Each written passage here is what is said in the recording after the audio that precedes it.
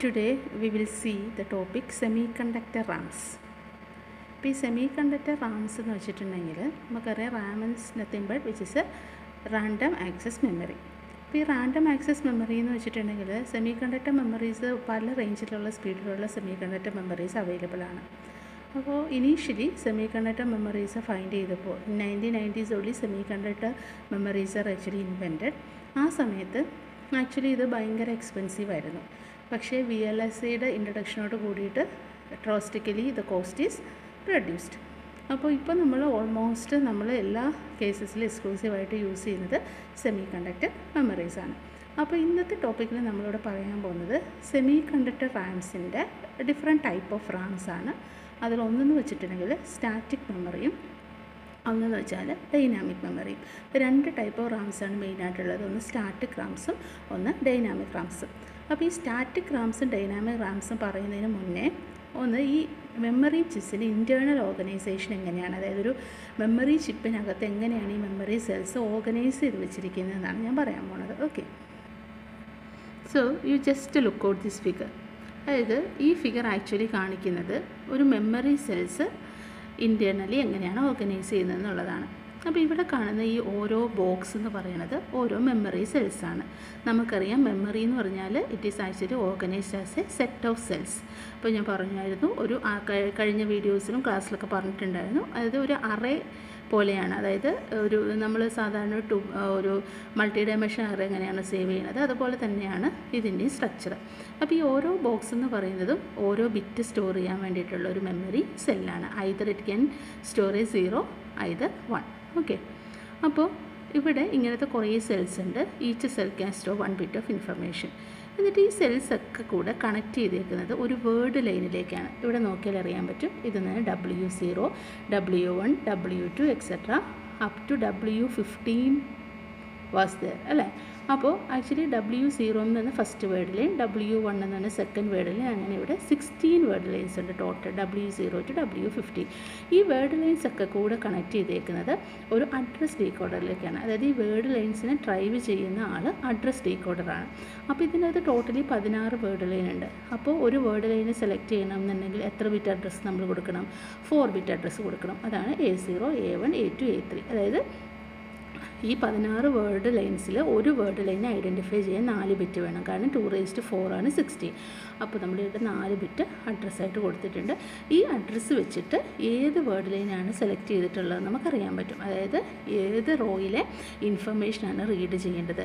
അല്ലെങ്കിൽ ഏത് റോയിലെ സെല്ലിലേക്കാണ് information right ചെയ്യേണ്ടത് എന്നറിയുന്നത് ഇവിടെ സെലക്ട് ചെയ്യുന്ന അഡ്രസ്സിന്റെ ബേസിസിലാണ് ഓക്കെ ദെൻ പിന്നെയുള്ളതെന്ന് വെച്ചിട്ടുണ്ടെങ്കിൽ കോളമാണ് ഈ ഓരോ കോളം സെൽസും ആക്ച്വലി അറ്റാച്ച് ചെയ്തേക്കുന്ന ഒരു സർക്യൂട്ട് ഇവിടെയുണ്ട്. സെൻസ് ബാർ റൈറ്റ് സർക്യൂട്ട് എന്ന് പറയും. Sense bar write circuit.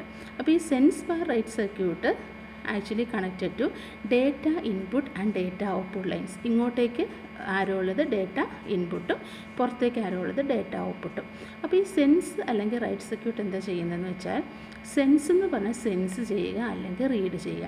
ഇപ്പോൾ ഏതെങ്കിലും ഒരു പർട്ടിക്കുലർ സെല്ലിലെ ഇൻഫർമേഷൻ റീഡ് ചെയ്യണമെന്നുണ്ടെങ്കിൽ the sense circuit will senses or read the concern information in the cell selected by the address decoder and that informations will be send to the data output line അതായത് ഏതെങ്കിലും information ഇപ്പോൾ ഈ സെല്ലിലെ ഇൻഫർമേഷനാണ് read ചെയ്യേണ്ടതെങ്കിൽ ഇവിടെ select ചെയ്യേണ്ടത് word line ഏതാ? W one ആണ് select ചെയ്യേണ്ടത്. അപ്പോൾ ഡബ്ല്യു വൺ സെലക്ട് ചെയ്ത് കഴിയുമ്പോഴത്തേക്കും ഈ വേർഡ് ലൈൻ ആക്ടിവേറ്റ് ആവും. ഈ ഇൻഫർമേഷൻ റീഡ് ചെയ്യണമെന്നുണ്ടെങ്കിൽ ഈ സെല്ലിലെ ഇൻഫർമേഷൻ റീഡ് ചെയ്യണമെങ്കിൽ ഇതിനോട് അസോസിയേറ്റ് ചെയ്തിരിക്കുന്ന സെൻസ് റൈറ്റ് സർക്യൂട്ടിലെ sense circuit will sense the concern information എന്നിട്ട് ആ ഇൻഫർമേഷൻ ഡേറ്റ ഔട്ട്പുട്ട് ലൈനിലേക്ക് ഡയറക്റ്റ് ചെയ്യും. അപ്പോൾ നമുക്ക് ഡേറ്റ ഔട്ട് കിട്ടി. ഇനി ഡേറ്റ റൈറ്റ് ചെയ്യാനാണെങ്കിൽ ഇതുപോലെ തന്നെ ഏത് സെല്ലിലേക്കാണോ ഡേറ്റ റൈറ്റ് ചെയ്യേണ്ടത്? The address recordable select the concerned row of the cell which is involve ഇപ്പോൾ ഇതിലേക്കാണ് റൈറ്റ് ചെയ്യേണ്ടതെങ്കിൽ ഡബ്ല്യു ഫിഫ്റ്റി എന്ന് പറഞ്ഞ ലൈനാണ് ആക്ടിവേറ്റ് ചെയ്യേണ്ടത്. ഈ സെല്ലിലേക്കാണ് write ചെയ്യേണ്ടതെങ്കിൽ the sense or write circuit connected to this cell അതിൽ റൈറ്റ് സർക്യൂട്ട് ഇവിടെ നിന്ന് വരുന്ന ഇൻപുട്ട് എടുക്കും. അതായത് ഇതാണ് input the input will be collected by the write circuit and it will be return to the cell selected by the address decode അപ്പോൾ ഇങ്ങനെയാണ് റീഡും right information നടക്കുന്നത്. അതുപോലെ തന്നെ അപ്പോൾ സെൻസ് ബാർ റൈറ്റ് സർക്യൂട്ട് എന്ന് വെച്ചിട്ടുണ്ടെങ്കിൽ ഒറ്റ സർക്യൂട്ടാണ് അതിന് സെൻസ് ചെയ്യാനും പറ്റും റൈറ്റ് ചെയ്യാനും പറ്റും. അപ്പോൾ ഇത് സെൻസ് ചെയ്യണോ? സെൻസ് ചെയ്യാന്ന് പറഞ്ഞാൽ റീഡ് ചെയ്യാനാണ് അർത്ഥം. റീഡ് ചെയ്യണോ റൈറ്റ് ചെയ്യണോ എന്ന് അറിയാൻ വേണ്ടിയിട്ട് ഇവിടെ ഒരു സിഗ്നൽ നമ്മൾ സെലക്ട് ചെയ്യും. R bar W R bar W എന്ന് വെച്ചിട്ടുണ്ടെങ്കിൽ ആർ എന്ന് പറഞ്ഞാൽ ആറാണ് സെലക്ട് ചെയ്യുന്നതെങ്കിൽ സെൻസ് ചെയ്യും. അതായത് റീഡ് ചെയ്യും. ഡബ്ല്യു ആണ് സെലക്ട് ചെയ്യുന്നതെങ്കിൽ റൈറ്റ് ചെയ്യും. പിന്നെ ഈ സി എസ് എന്ന് പറയുന്ന സിഗ്നൽ എന്ന് വെച്ചാൽ ചിപ്പ് സെലക്ട് എന്ന് പറഞ്ഞ സിഗ്നലാണ് ചിപ്പ് സെലക്ട് അതായത് ഇപ്പോൾ നമ്മൾ മൾട്ടിപ്പിൾ ചിപ്സൊക്കെ ഒരു കാർഡിനകത്ത് നമ്മൾ അസോസിയേറ്റ് ചെയ്തിട്ടുണ്ടെങ്കിൽ ആ ചിപ്പിനെ സെലക്ട് ചെയ്യാൻ വേണ്ടിയിട്ട് യൂസ് ചെയ്യുന്ന സിഗ്നലാണ് ചിപ്പ് സെലക്ട് ഓക്കെ അപ്പോൾ ഇതാണ് ഇന്റേർണൽ ഓർഗനൈസേഷൻ ഓഫ് മെമ്മറി സെൽസിൽ പറയാനുള്ളത്. അപ്പോൾ ഇതിനകത്ത് പിന്നെ വരാവുന്ന ക്വസ്റ്റ്യൻ എന്ന് വെച്ചാൽ ഇപ്പോൾ നമുക്ക് ഈ ഫിഗറിൽ ആക്ച്വലി ഞാൻ കാണിച്ചിരിക്കുന്നത് ഒരു സിക്സ്റ്റീൻ ബൈ എയ്റ്റ് ഓർഗനൈസേഷനാണ് അതായത് ഇതിനകത്ത് പതിനാറ് റോസും ഉണ്ട് എട്ട് കോളം ഉണ്ട്. നിങ്ങൾ നോക്കിയാൽ കാണാൻ പറ്റും. എട്ട് കോളം എന്ന് പറഞ്ഞാൽ ഇത് B zero B one B two etcetera to B seven വരെയുണ്ട്. അപ്പോൾ ഓരോ സെല്ലിൽ നിന്നും അതിന്റെ കോംപ്ലിമെന്റ് കൂടെ ഉണ്ട് കാണാൻ പറ്റും. ഇപ്പോൾ ബി സീറോ സീറോ ആണെങ്കിൽ ബി സീറോ ഡാഷ് എന്ന് പറഞ്ഞാൽ വൺ ആയിരിക്കും. അപ്പോൾ ഓരോന്നിനും കോംപ്ലിമെന്റ് കൂടെ കൊടുത്തിട്ടുണ്ട്. അങ്ങനെ ടോട്ടൽ എട്ട് കോളം ഉണ്ട് പതിനാറ് റോയും ഉണ്ട്.